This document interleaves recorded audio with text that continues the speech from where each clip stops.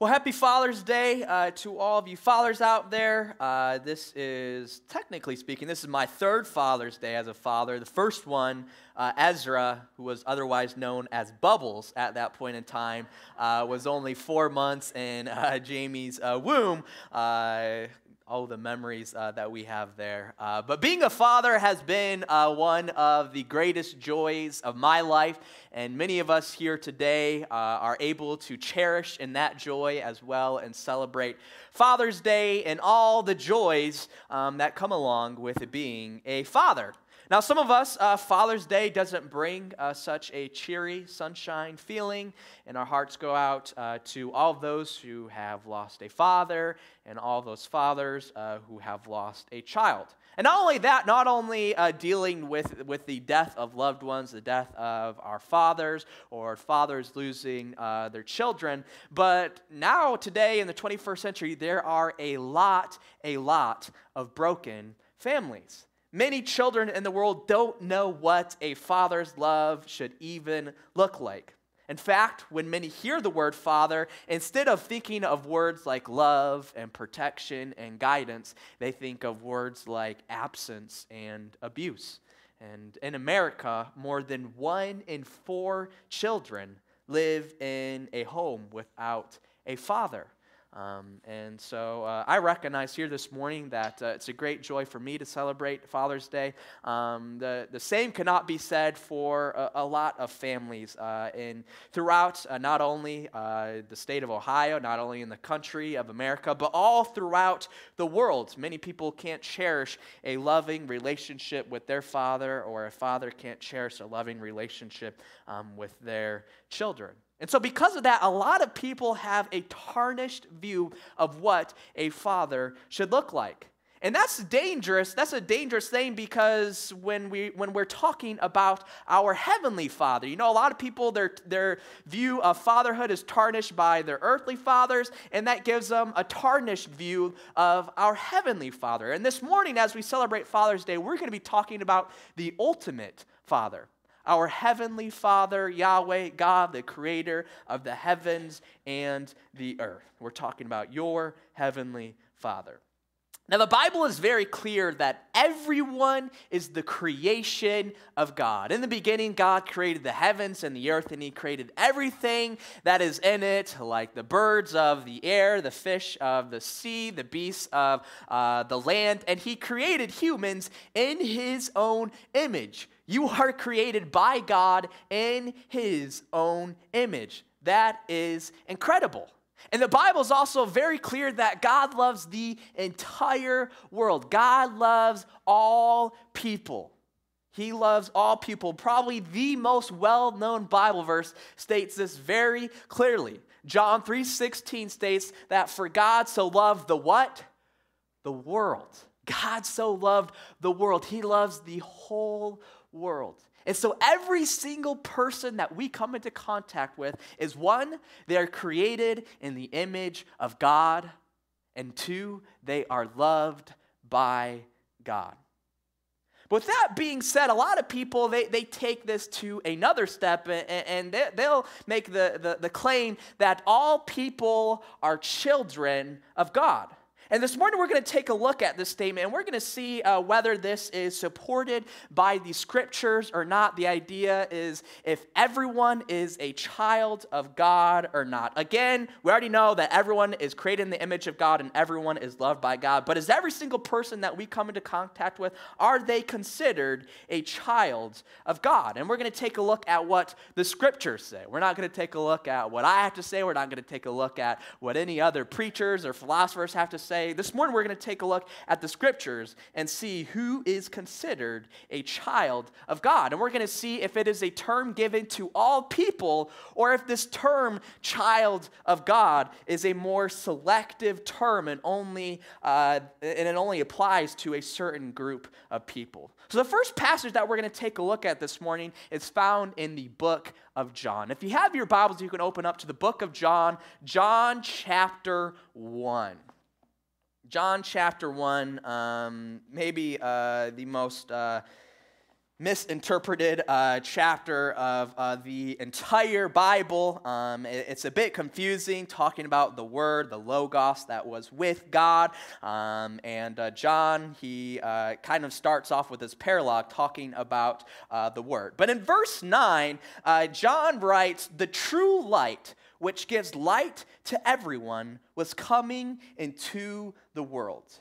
He was in the world, and the world was made through him, yet the world did not know him. He came to his own, and his own people did not receive him.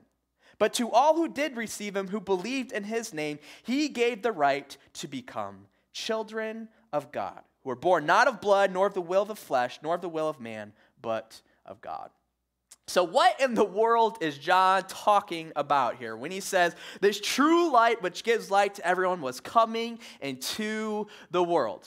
Well, here, John, he's talking about Jesus. He's talking about Jesus of Nazareth, Jesus, the Christ, the Messiah, the anointed one. And Jesus, he serves as this true light, and he was coming to the world.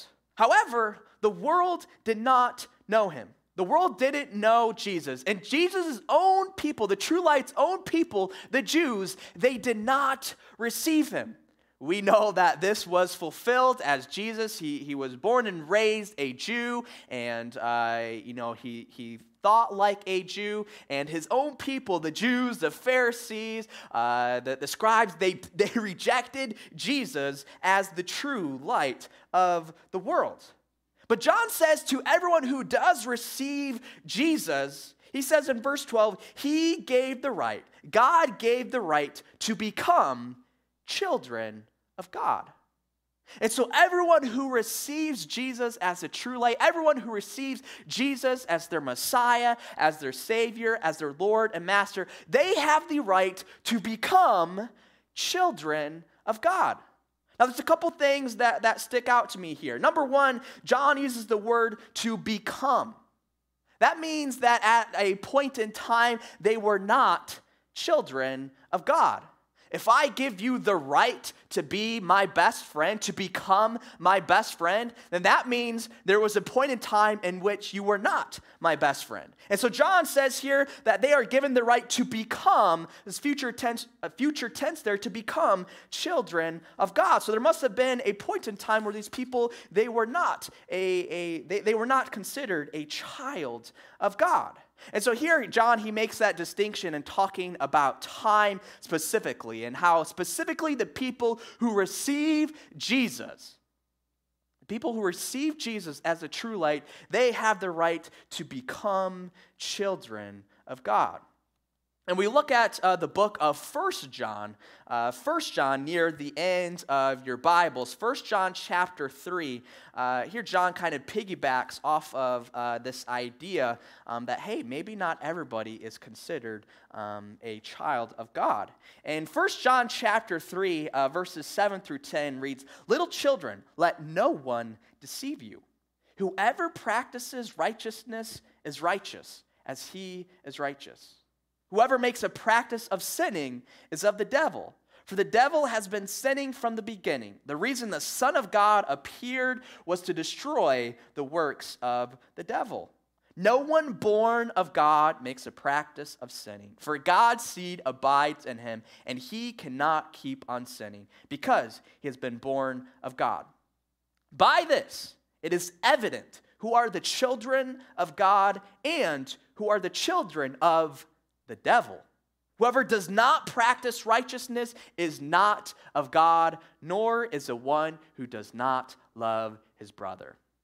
Wow, the, the, these are strong words by John. He starts off in verse 7 talking about, Let no one deceive you. Whoever practices righteousness is righteous. You know, that's, that's a beautiful thing. We as Christians, we can be identified as a righteous servant of God. We, we are righteous when we give our life over to God and His Son Jesus. When we practice righteousness, we're identified by that righteousness. However, on the flip side of things, whoever makes a practice of sinning, John says they are of the devil. They are from none other than the devil. For the devil has been sinning from the beginning. You know, the reason the Son of God appeared was to destroy the works of the devil. And John says, he, he, he kind of expounds on this even further, and he says, No one born of God makes a practice of sinning. So, in other words, if you do have a practice of sinning, then you are not born of God, according to the words of John here in John uh, in 1 John chapter 3. For God's seed abides in him, and he cannot keep on sinning because he has been born by born of God.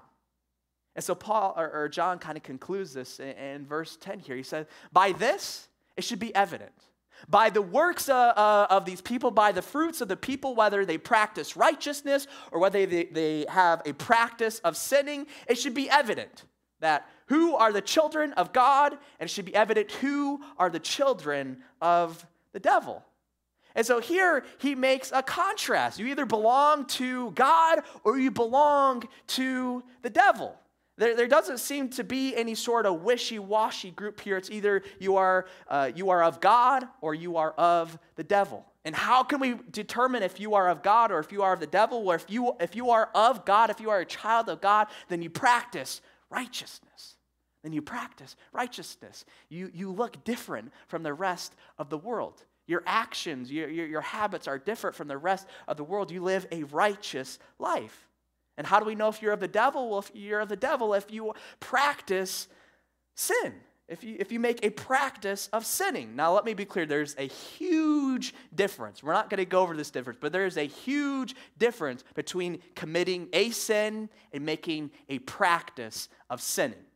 You know, we, we, we all commit sin in our lives, but when we give our life over to God and His Son, Jesus Christ, we get rid of practicing sin. We get rid of committing the sin over and over and, and making a practice out of it, making a work out of the sin.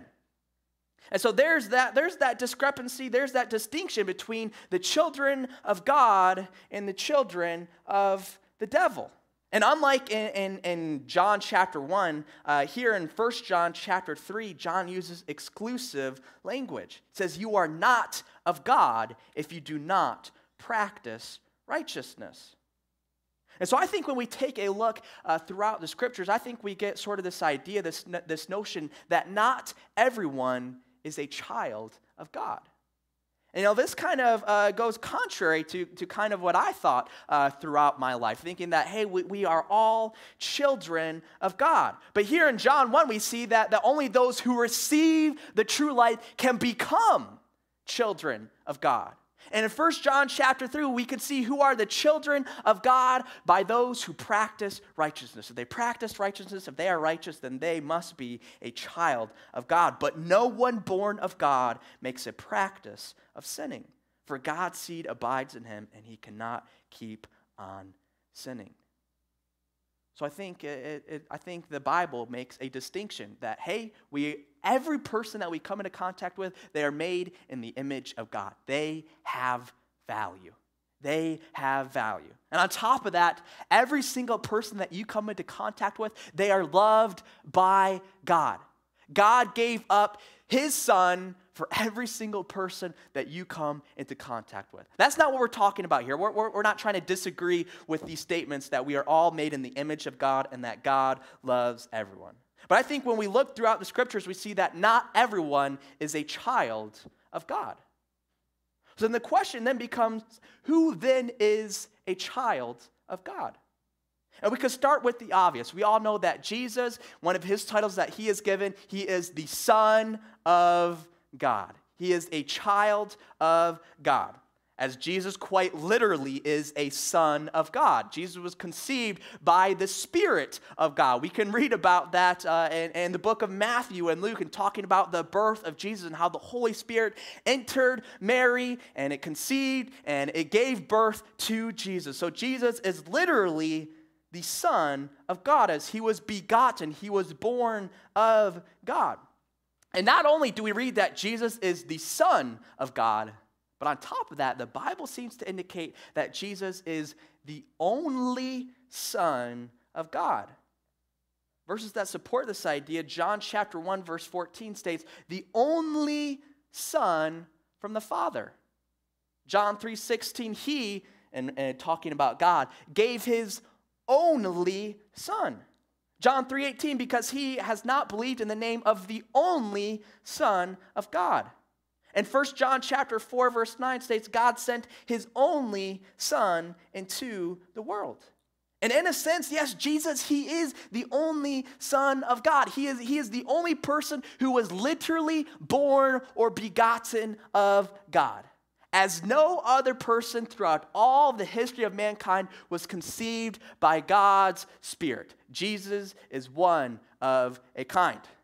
You can maybe kind of make a, a, statement for Adam and how God breathed his spirit into Adam, but there seems to be even a distinction between Jesus and Adam, the, the, the first man that God created. And time and time again, it states that Jesus is the only Son of God.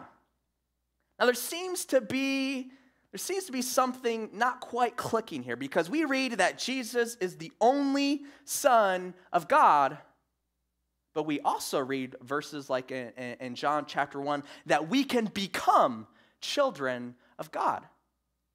So, how do we reconcile this idea that Jesus is the only Son of God, but at the same time, we can become children of God? Well, I think we reconcile this through the idea of adoption. The idea of adoption, that each and every one of us, we have, a, we, we have the opportunity to become a child of God through adoption. We can read about this idea uh, of becoming a child of God through adoption in Romans chapter 8. Romans chapter 8, verses 14 through 17. Romans chapter 8, verses 14 through 17 here, and, Paul is talking about being an heir with Christ. And Paul writes in Romans chapter 8, verse 14 For all who are led by the Spirit of God are sons of God. So here, this is another way in how we can. Uh, we can prove who is a child of God. If they are led by the Spirit of God, then they must be a son of God. For you did not receive the spirit of slavery to fall back into fear, but you have received the spirit of adoption as sons, by whom we cry, Abba, Father. The Spirit itself bears witness with our spirit that we are children of God.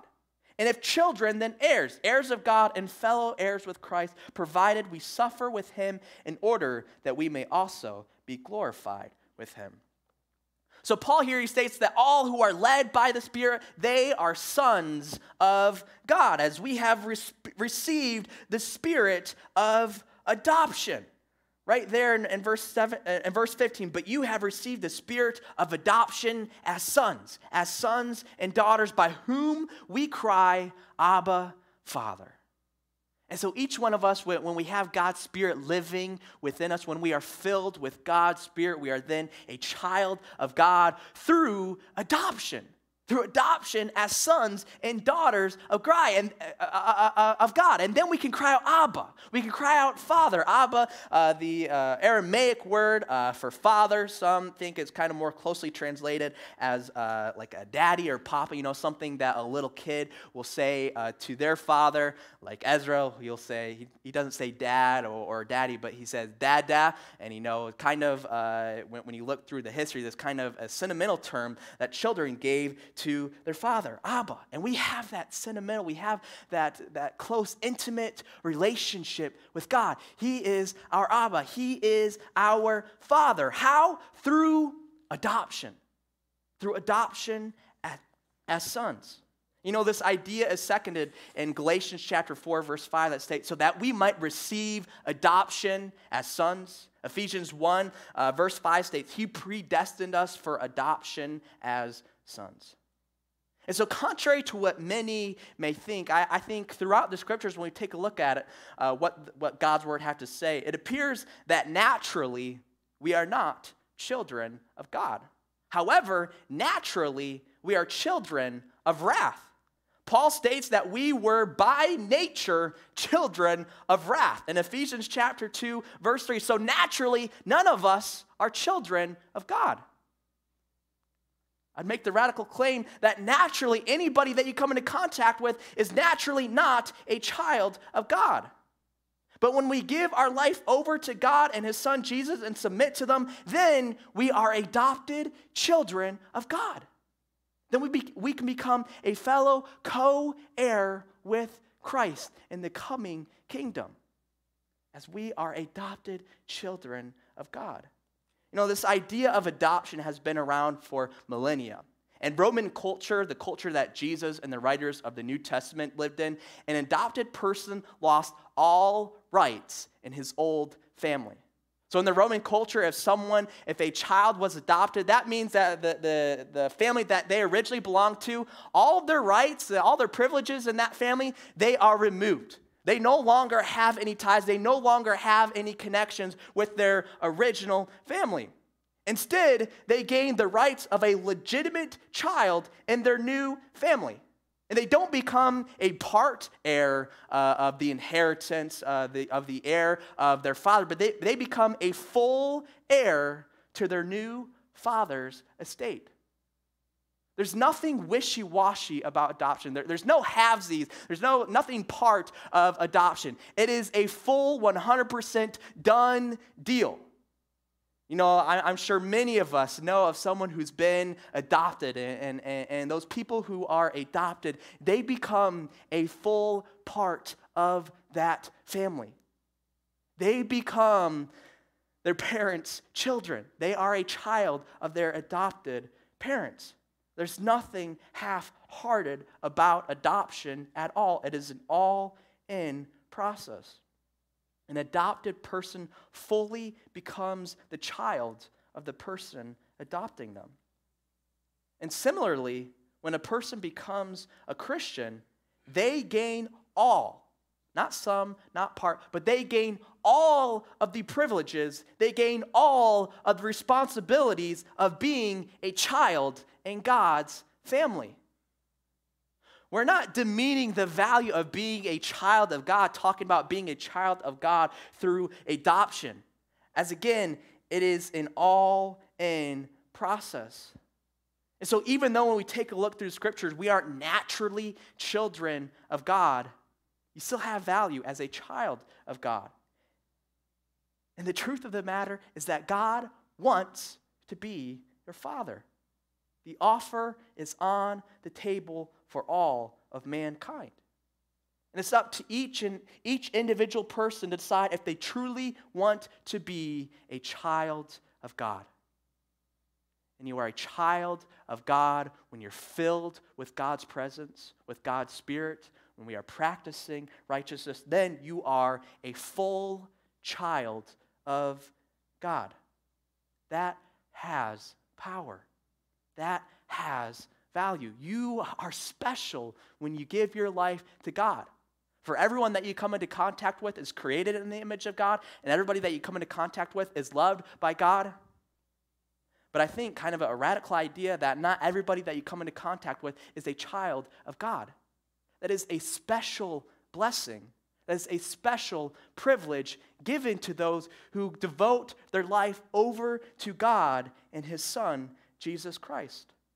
And now, why in the world should we want to be a child of God? Why should we devote our life to God and seek to be an adopted child of God? Well, the clear answer is that when we are children of God, we become a full heir to God's estate. That means we become a full heir to God's kingdom. Because what belongs to God then, then belongs to us as his heir, as his children. And so then, when God is our father, we get to partake in God's everlasting kingdom. That alone should be reason enough as to why each and every one of us should strive with all that we have to be a child of God. But on top of that, we should want God to be our Heavenly Father because of how He interacts with His children. Because we see that our Heavenly Father is loving. The scriptures state, See what love the Father has lavished on us, that we should be called children of God. 1 John 3, verse 1. Our Father is compassionate and He's gracious. The scriptures state the Lord is compassionate and gracious, slow to anger, and abounding in love. Psalm 103 8. We read that, that our Heavenly Father, He's forgiving. The scriptures state if we confess our sins, He is faithful and just and will forgive us our sins and purify us from all unrighteousness. according to 1 John 1 9. We read that our Heavenly Father is ever present. The scriptures state that God is our refuge and strength and ever present help in trouble, according to Psalm 46 1. We read that our Heavenly Father is faithful. The Lord is righteous in all his ways and faithful in all he does, according to Psalm 145, verse 17. And we see that our Heavenly Father is a father to the fatherless. God is a father of the fatherless, according to Psalm 68, verse 5. That is our Heavenly Father.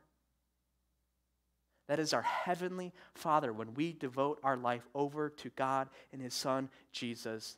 That is a Father that you claim for yourself.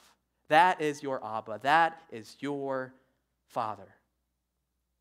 You know, it's such a shame that this term father serves as a stumbling block for many people in the society, many people in the world, because of their poor experiences with their father. But God is all that our fathers are supposed to be and more. You know, many children, they, they just have dreams. They, they imagine what life would be like with a loving and caring and providing and protective father. Well, the truth is, matter, we all have access to a father like that. We all have access to a perfectly heavenly father who is loving, who's forgiving, he's compassionate and gracious and merciful, he's ever present, he's faithful, and he will claim the fatherless as well. He wants to be a father to the fatherless. And so don't let a poor relationship with your father stop you from being the child of the perfect father, Yahweh, our God. And so I would urge, I, I would say that this is the good news that people need to hear on Father's Day. That we have to remember we are all part of the creation of God. You are the creation of God. God loves you. God wants to be your father, but naturally, none of us are children of God. However, we can become children of God through adoption, which is made possible through our Lord and Savior, Jesus Christ. We, we become children of God through adoption when we give our life over to God and accept Him as our Father. And let me tell you, He is a good, good Father. No matter what your experience with your father or what your dad is like, this is a child father relationship that you do not want to miss out on. The rewards are immeasurable when we are deemed a child of God. They're immeasurable.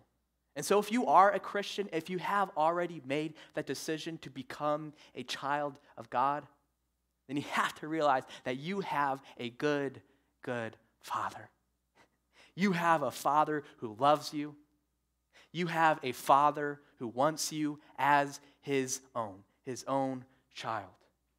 And on top of that, if you are a child of God, then you need to share this message with those around you. You need to share this message. Let your friends and family know that there is a God who created them, there is a God who loves them, and there is a God who wants to be their father. That's a message that the people of today in 2021, they need to hear this message. And so if you are a child of God, if you've given your life over to God and His Son Jesus Christ, you must be sharing this news with your family and friends. It is a life-changing message. And if you're someone who is not a Christian, if you're someone who has not uh, devoted your life over to God and His Son, Jesus Christ, I want you to know that there is a God who created you, there is a God who loves you, and there is a God who wants to be your heavenly Father. A perfect Father wants you. That is what is at stake today as we celebrate Father's Day. So, no matter what your home life looks like, no matter how broken your life is, no matter how broken your relationship with your dad is, no matter if you come from a fatherless house, God wants you. And He wants you as His own child because He is a good, good Father. Let's pray. Father, We love you. Father, I thank you that you've given us the wonderful privilege, the wonderful honor to be recognized as children of God when we devote our life to you and your Son, Jesus. Father, I pray this morning that each and every one of us recognize that we have a good, good Father. Father, I pray that each and every one of us here this morning, I, I, pray that we are encouraged, we are driven to share this message with our friends and family that you, Father, you love them and that you want to be their Father. We love you so much, God. We love you so much, Father. It's in your precious Son's name that we pray. Amen.